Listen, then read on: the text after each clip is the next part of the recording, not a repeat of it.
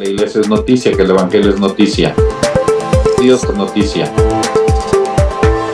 Bienvenidos a la emisión 174 de Dios es noticia. Estas son las breves de la semana. Del 15 al 18 de octubre se realizó en la Arquidiócesis Angelopolitana la decimosexta Asamblea Diocesana de Pastoral, en la que participaron sacerdotes laicos religiosas, obispo auxiliar Monseñor Tomás López y el arzobispo de Puebla Monseñor Víctor Sánchez Espinosa, enriqueciéndose unos a otros con las experiencias pastorales vividas en las diferentes zonas en las que ejercen su ministerio o apostolado. Tuvo como objetivo principal repensar y relanzar la acción evangélica pues es una tarea permanente que la Iglesia ha de realizar para mantenerse fiel a su vocación y misión.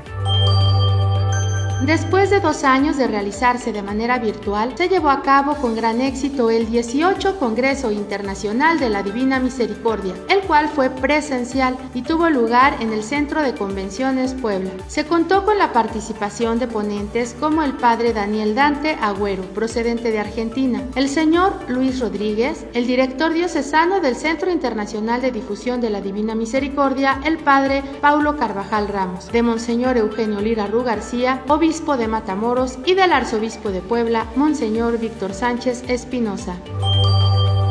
El pasado 15 de octubre, en el marco de la fiesta de Santa Teresa de Jesús, se llevó a cabo el Rosario Mensual de Hombres, en el que, además de pedir por la patria, la familia, la paz mundial y la vida, se ora también por las necesidades e intenciones de los participantes. El Rosario de Hombres se realiza el tercer sábado de cada mes a las 5 de la tarde en el atrio de la catedral.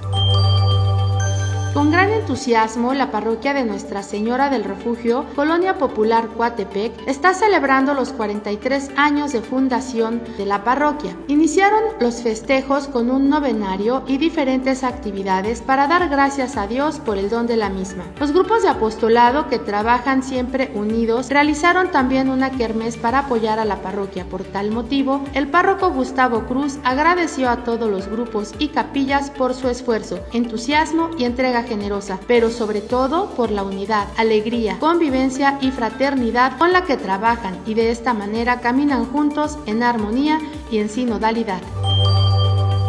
La Fundación de Beneficencia Cáritas de Puebla informa que no está realizando ninguna rifa ni sorteo de algún tipo. Advierten a la sociedad a no caer en engaños ni fraudes.